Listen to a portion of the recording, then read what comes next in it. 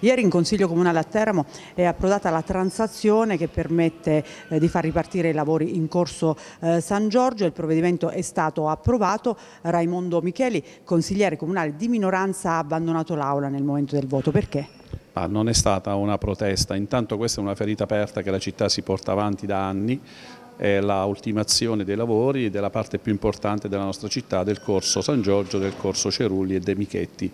La mia non è stata una posizione di assenza, ma nel momento in cui si pone una transazione che questa maggioranza ha voluto così insieme all'impresa realizzare, eh, non mi vede partecipe nel momento in cui eh, forse l'atto doveva essere portato in giunta. Non... Solo in giunta secondo lei? Ma a modo di vedere probabilmente lì c'è un parere discordante o meglio non favorevole da parte del segretario, però è un atto che si poteva tranquillamente proporre in giunta, visto che i lavori sono rimasti gli stessi, la ditta è la stessa, l'importo è lo stesso. È chiaro che è una transazione dove vede soccombere il Comune per alcune inadempienze del passato, del quale io poi non voglio entrare nel merito. Il Comune dovrà anche pagare una quota. Ma assolutamente sì, una quota importante, è chiaro che ci sono state delle riserve da parte dell'impresa sull'esecuzione dei lavori, ci sono stati dei fermi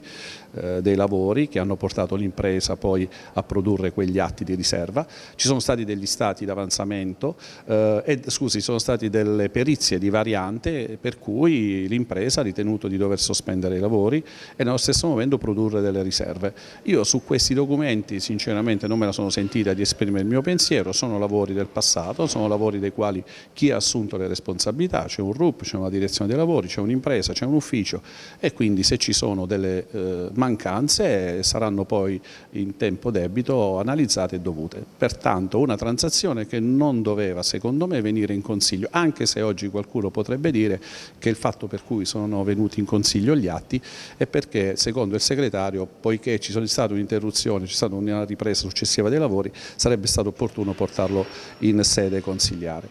È stata una votazione che ha visto poi l'atto eh, votato favorevolmente da gran parte di tutti i consiglieri della maggioranza, anche di qualche consigliere tra virgolette dell'opposizione, quindi credo che su questa ferita aperta si possa da qui tirare una linea di demarcazione e ripartire con un nuovo percorso che la Giunta ha voluto presentare, che è quella di un rifacimento non totale ma parziale, quindi un rimodellamento di quello che è il corso dei Michetti per cui si andrà a insistere, così come hanno spiegato già eh, gli assessori e i tecnici soltanto sulla parte laterale in aderenza ai muri delle abitazioni e parliamo esattamente dei marciapiedi.